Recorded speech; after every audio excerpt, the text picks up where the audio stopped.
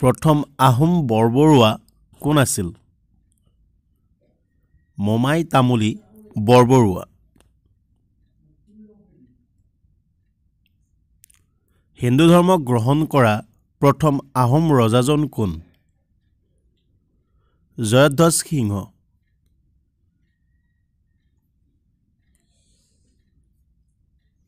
জয়সাগৰ পুখুৰীৰ পাৰত কোনে জয়দৌল নিৰ্মাণ কৰিছিল?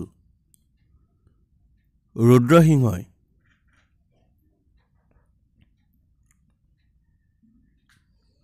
কোনজন আহোম ৰজাই কছাৰীসকলক থাপিত সঞ্চিত ৰজা পাতিছিল?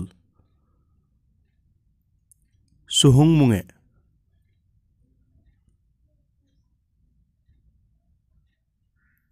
আহোমসকলৰ শাসনকালত মুদ্ৰাৰ আকৃতি কেনেকুৱা আছিল? অষ্টভুজাকৃতিৰ।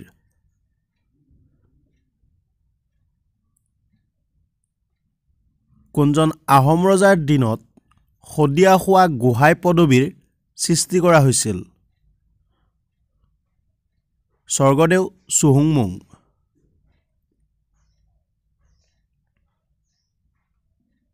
কাৰ বিৰুদ্ধে যুদ্ধ কৰি মূলা গাভৰুৰ মৃত্যু হৈছিল? তুৰ্বক।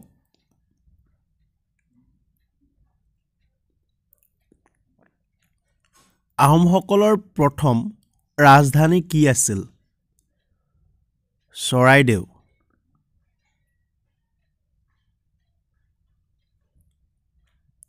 কোচসকলৰ মুদ্ৰাক কি বুলি কোৱা হৈছিল? নাৰায়ণী মুদ্ৰা।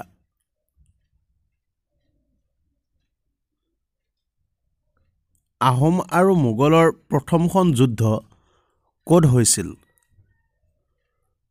ভৰলী নদীৰ পাৰত।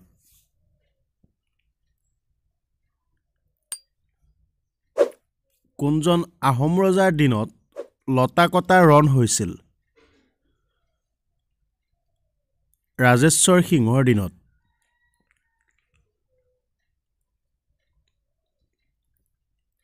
কোনজন পাল ৰজাই ব্ৰহ্মপুত্ৰৰ পাৰত শ্ৰী দুৰ্জয় নামেৰে ৰাজধানী প্ৰতিষ্ঠা কৰিছিল?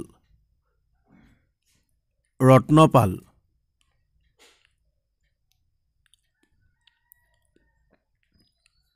ফিফটিন ছিক্সটি থ্ৰীত নৰনাৰায়ণ আৰু কোনজন আহোম ৰজাৰ মাজত মাজুলী চুক্তি স্বাক্ষৰিত হৈছিল?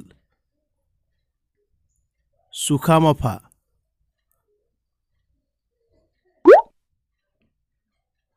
ৰঘুদেৱ কাৰ পুত্ৰ আছিল? চিলাৰায়ৰ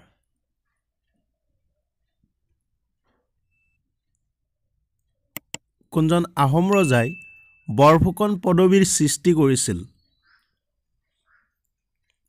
প্ৰতাপ সিংহ।